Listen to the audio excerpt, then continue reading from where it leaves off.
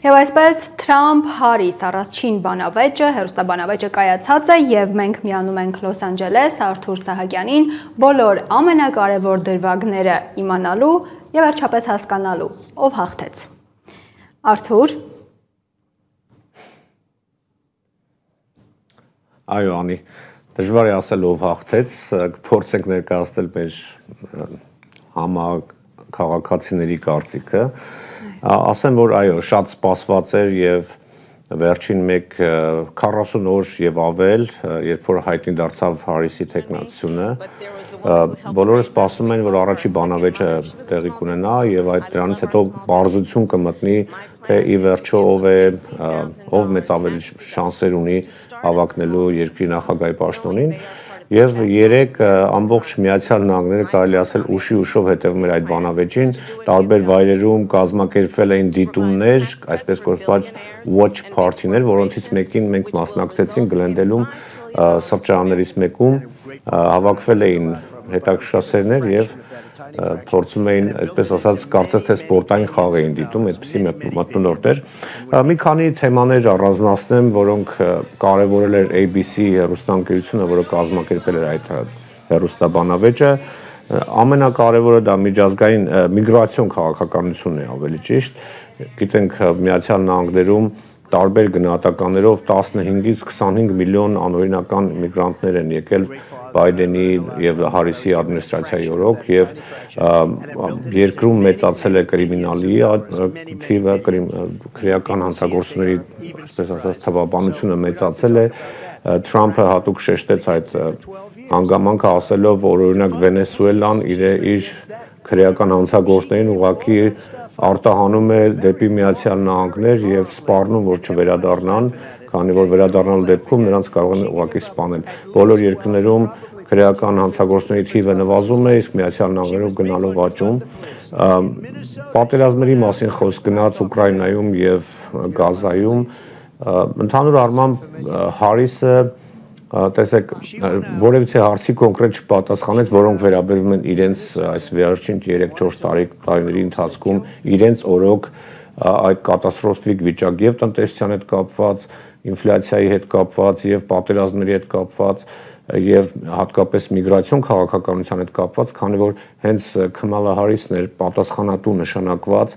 սահմանների անվտանգության հարցում եւ բոլոր իր քննադատողների առաջին ուրեմն թիրախը հենց ինքն է եւ ինքը պետք է պատասխաներ։ ABC հեռուստաընկերության կողմից իհարկե հնչեցին այդ հարցերը, բայց երևում էր, որ նա նախապես պատրաստված է հարցակման, այսպես մոտարապես այսպես էր սկսում իր խոսքը, այդ հարցին կպատասխանեմ, բայց հիմա թույլ տվեք ասել անդրադառնալ Թրամփի խոսքին եւ ամբողջությամբ հարցակում էր գործում Թրամփի վրա այդ ընթացքում իրեն օգնում են նաև ABC-ի ուրեմն թղթակիցները եւ այսօր եթե նայեք սոցիալական ցանցերը կտեսնեք որ բոլորը միանշանակ ընդունում են որ սա բանավեճ էր 3-ը ընդդեմ 1-ի միանշանակ այդպես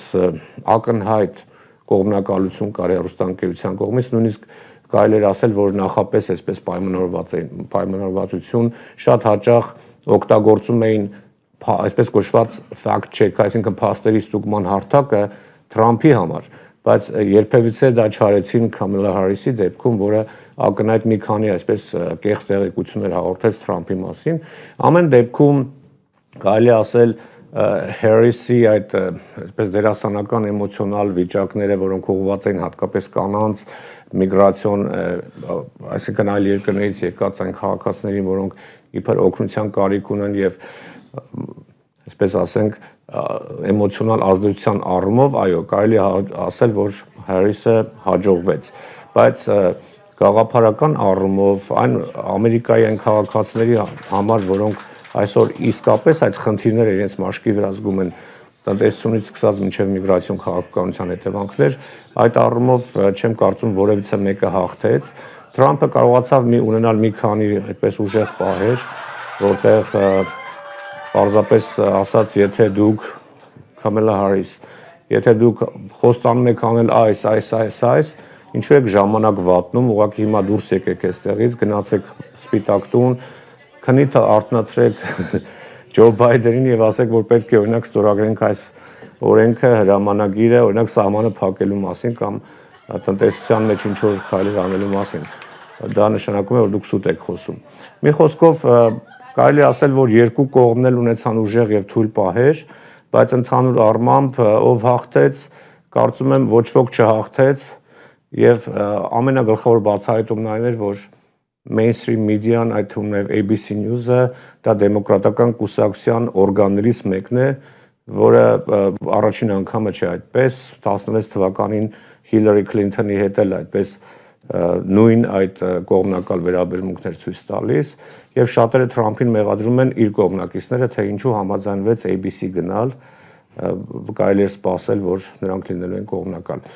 իսկ թե մարդիկ ինչ են մտածում այդ բանավեճի մասին առաջարկում եմ դիտել տեսանյութով Ով հաղթեց բանավեճում Լուրջ եք հարցնում, իհարկե Թրամփը։ Ինչու՞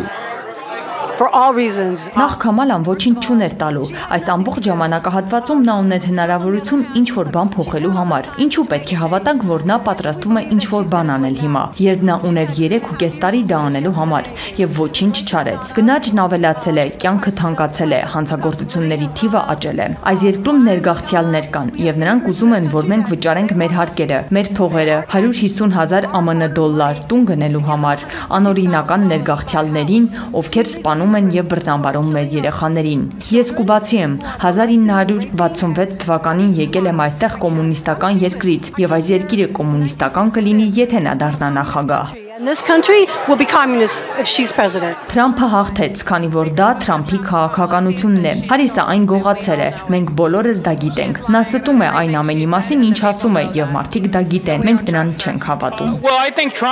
Կարծում եմ, որ ընդհանուր առմամբ Թրամփը շատ լավ է հանդես եկել, բայց կան մի քանի կետեր։ Կարծում եմ, որ նա մի փոքր ավելի շատ էր խոսում, քան պետք էր, բայց ընդհանուր առմամբ նա անցավ հարցակման, եւ դա իսկապես լավ է։ Կարծում եմ, որ նա լավ է հարվածել Քամալայի ամենացավոտ տեղին։ Բայդեն-Հարիս ռեժիմի պատմությունը մեղմ ասած ողբալի է։ Այնպես որ կարծում եմ, որ Թրամփը մատնանշեց Հարիսի թերացումները ներգաղթի հարցերում։ Նրա թերացումները գնաճի հարցերում, զենք կրելու իրավունքների հարցում։ Նա մատնանշեց Հարիսի թերացումները հանցավորության դեմ պայքարում եւ հանցագործներին պատշաճ կերպով պատասխանատվության ենթարկելու գործում։ Այսպիսով իմ կարծիքով Թրամփի գնահատականը 5-ից 4 կամ 10-ից 9 է։ Իմ կարծիքով դա ապշեցուցիչ արդյունք է։ Նոյեմբերի 5-ին մենք դա կտեսնենք։ Donald Trump. Դոնալդ Թրամփ Պարզապես նայեք այն ժամանակաշրջանը, երբ նա նախագահ է եղել, իսկ Քամալան փոխնախագահ է, եւ նայեք փաստերին։ Փաստերը չեն ստում, թվերը չեն ստում։ Ինչ չի հետաքրքրում, թե նրանք ինչ են ասել այսօր։ Ես նախագահությունը համեմատում եմ փոխնախագահության հետ, եւ փաստերը չեն ստում, թվերը չեն ստում։ Ահա թե ինչու ես հավատում եմ, որ նա հաղթեց։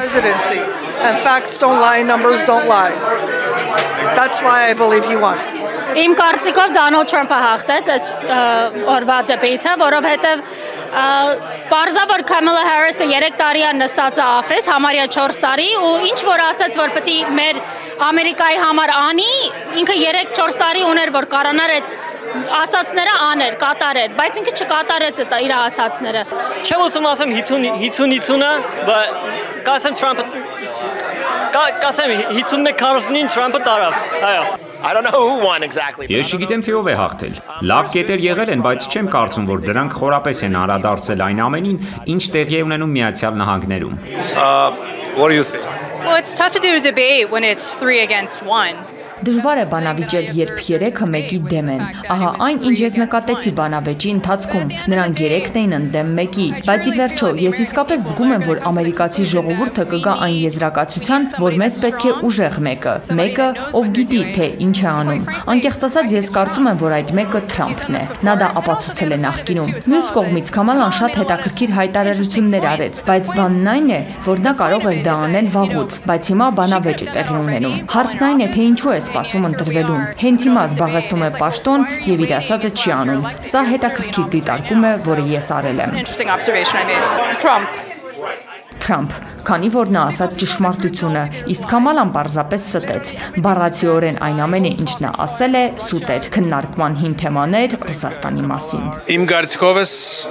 նույն նույնը վերջացավ։ Ոչ Դոնալդ Թրամփը, ոչ Կամալա Հարիսը հաղթեցին, որովհետև